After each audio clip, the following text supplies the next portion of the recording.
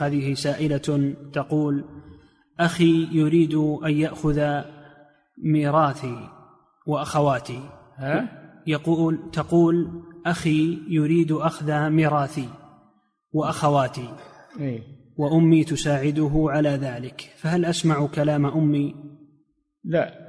إذا أنك لا يشتكوهم على المحكمة تستدعيهم وتبين لهم. نعم.